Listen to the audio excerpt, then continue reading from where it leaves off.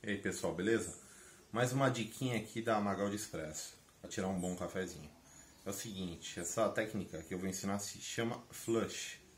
Você consegue variar a temperatura da máquina e você consegue com essas nuances de variação da temperatura da máquina realçar notas diferentes do café. Em geral as máquinas elas estabilizam quente a temperatura dos grupos, né? Então antes de tirar o café você sempre tem que fazer um flush que nada mais é do que fazer correr um pouco de água pelo grupo para esfriar a máquina.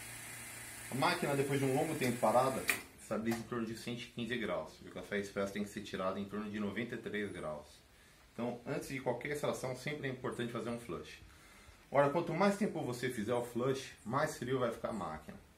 E isso vai implicar no gosto do café. Aí é o seguinte, o café tirado mais quente, você consegue realçar mais notas de doçura, chocolate e, consequentemente, amargor.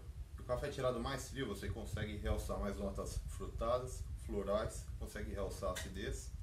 Em contrapartida, mata um pouco da, da doçura. Basicamente consiste nisso. Quanto mais tempo você correr, água pelo grupo, mais frio você vai estar tirando seu café. Então vamos lá, vou tirar um cafezinho.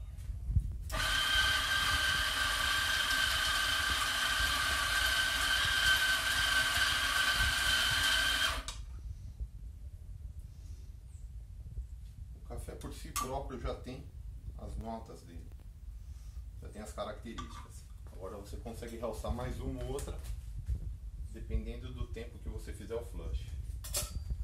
Aqui eu vou fazer um flush mais longo. Deixa eu xícara. O café a uma temperatura mais fria. Então, consequentemente, eu vou querer realçar a acidez, notas florais cítricas e abrir um pouco de notas de chocolate e de doçura. E é basicamente isso, pessoal.